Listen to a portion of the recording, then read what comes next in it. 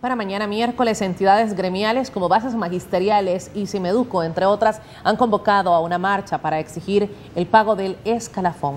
Sin embargo, Andes 21 de junio asegura que no hay razón para una acción de este tipo. Ambas partes se acusan de velar por intereses políticos electorales.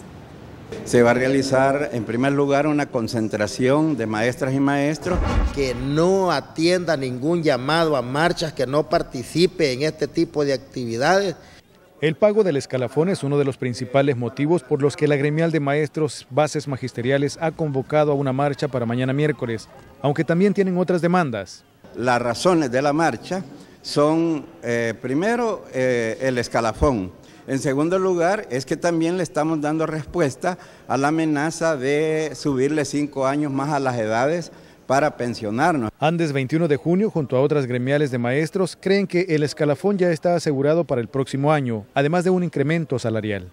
Si está garantizado el escalafón y está garantizado el aumento salarial, entonces ¿cuál es la razón para llamar a los maestros a una marcha? Siempre justifica de que ya está resuelto lo, lo del escalafón cuando que nosotros, bueno, yo he escuchado apenas hace dos, tres días al ministro de Hacienda, Carlos Cáceres, seguir sosteniendo, seguir afirmando de que el escalafón no va incluido en el presupuesto general de la nación y en el caso del ramo de educación.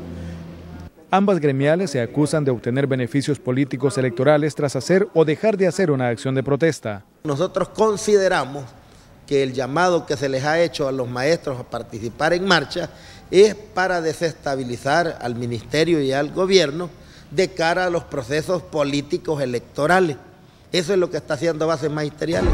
Que el comportamiento de Israel Montano, particularmente de Israel Montano, el secretario general de Andes 21 de junio, eh, responde a los intereses del partido FMLN.